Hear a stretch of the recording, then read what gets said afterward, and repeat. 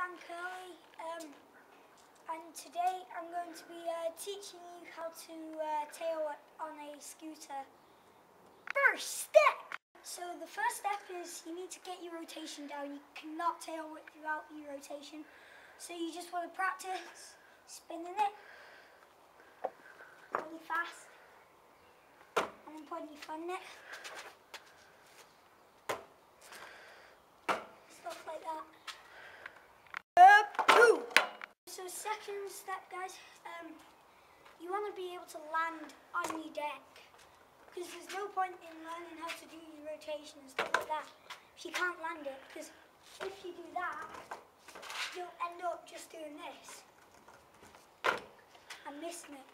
So what you want to do is you want to be just a slow pace on the scooter and you want to put your foot down, flick it and land two feet on it.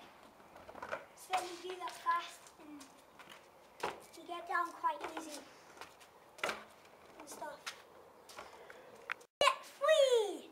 Okay, step three guys. So once you got your rotation down, you stuff like that. Once you've got all that down, right, you want to bunny hop like a decent height. So like that. And um, then once you've done that, you want to really just put it all together and it should turn out like this. Through your block with a dog bag. Used to move rock. Now I'm sitting on stacks. I can flip eight jars while I'm spitting on tracks. Take it back.